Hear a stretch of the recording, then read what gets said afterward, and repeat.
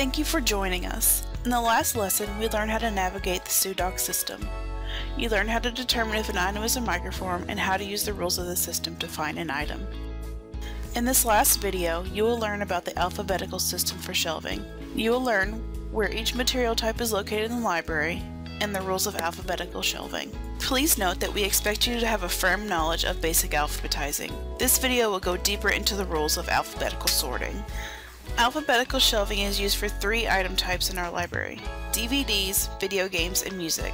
Like Dewey Decimal System, you will want to make sure you pay special attention to the location code so that you are in the right section. Along with all other browsing items, DVDs are located on the first floor of the library. The call number will have DVD in the location code. Video games will have game in the location code.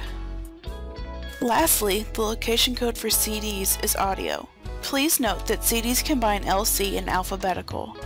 The genre of music will be an LC, but the artist and the title of the CD will be alphabetical. Now let's learn some advanced rules for alphabetical shelving.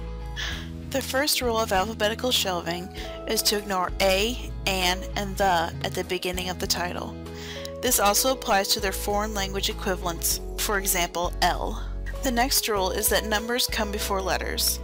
This only applies for Arabic numbers like 1 and 25, not numbers that are spelled out. If you're looking for the movie 7, that will be in the S's. The third rule is to ignore punctuation. For example, if you're looking for I'm, look under IM. The last rule is for abbreviations. In this example, the titles would be arranged as follows. Pause the video if you need to look at it longer.